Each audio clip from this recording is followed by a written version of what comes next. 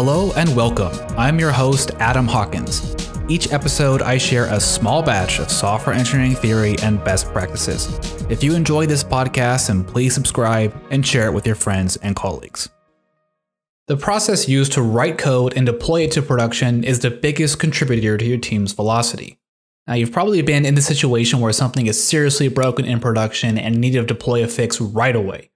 You may have even tried to circumvent the existing process to deploy it faster, so simply put, the faster your team can write and deploy code to production, the better. This is the principle of flow, or the first way of DevOps. The DevOps Handbook provides a two-step process for achieving fast flow from development to production. Step 1. Use trunk-based development and continuous integration. Step 2. Use continuous delivery. Now you've probably heard these terms before. They're thrown around and often used incorrectly. Continuous integration is a prime example. So I'll do my best to clarify the right and proper way to achieve fast flow from development to production. The goal at the end of each development cycle is to produce production ready builds built from master that have been verified in a production like environment and validated with automated tests. That's continuous delivery in a nutshell. Continuous deployment takes it one step further by automatically pushing code to production, but that's a topic for another episode. For now, let's start with trunk based development. I bet the mere mention of trunk makes some of you shudder. Some of you may even be thinking, trunk, what is this madman talking about SVN for? We use Git, so what's the point? Well, the point is to reduce your cycle time from development to production. Trunk based development optimizes for team productivity instead of individual productivity, which is a great way to achieve that goal. Trunk based development boils down to keeping branches small and maintaining an incremental straight line of development. Branches should be merged to trunk or master at the end of each day. They must also be covered by automated tests so it's clear which commits are broken. This is the origin of continuous integration, and believe me, there are a lot of quote, continuous things in DevOps. This practice ensures commits are smaller, thus easier to write, test, deploy to production, hence improving your times from development to production. I can hear some of you saying, Adam, wait, what are you talking about? Why does this make any sense? What am I supposed to do with my feature branches? And what about those epic branches that are open for weeks?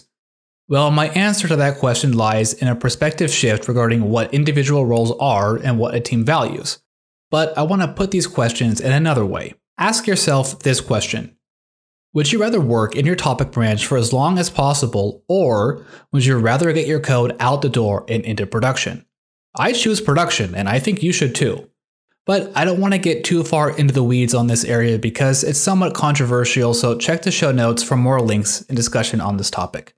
For now, let's move forward to continuous delivery. The idea behind continuous delivery is to connect commits from trunk or master to an automated deployment pipeline that verifies builds are fit for production. Naturally, this requires varying levels of test and automation. Now, don't get lost in the statements from the blogosphere that you need Docker, microservices, and all that stuff to achieve these goals.